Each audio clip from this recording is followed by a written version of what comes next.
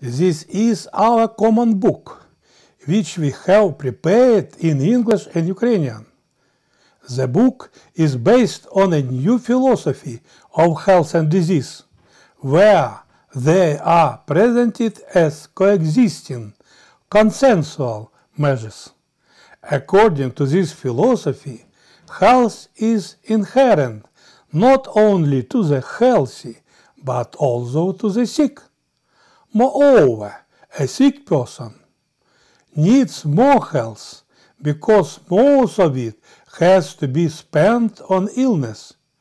The consequence of this philosophy is the principle of disease optimality.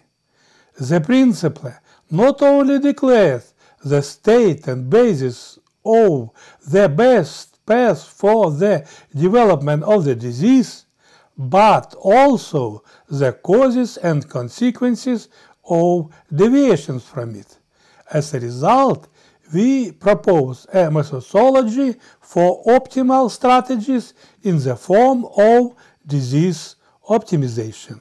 This question, as well as a number of other important for clinical practice and medical science, you will find in this book.